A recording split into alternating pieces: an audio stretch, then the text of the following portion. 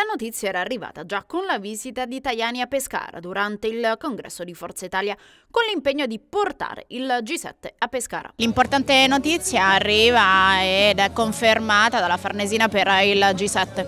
Sì, ieri la, la Farnesina ha confermato che a Pescara si svolgerà il G7 eh, nel tardo autunno del, di quest'anno, è una notizia eccezionale per noi perché Pescara non aveva mai avuto una vetrina internazionale come questa. Verranno i sette ministri eh, dello sviluppo economico per parlare di sviluppo economico del mondo, ci sarà anche il Premier eh, e quindi sarà un momento importantissimo per la nostra città, soprattutto per mettersi in mostra, ma credo che lo sia per tutto il nostro territorio pescarese ed abruzzese. Sono certo che faremo una bellissima figura, parleremo dei problemi del mondo con i ministri più importanti del nostro pianeta, ma nello stesso tempo faremo vedere anche le bellezze della nostra terra.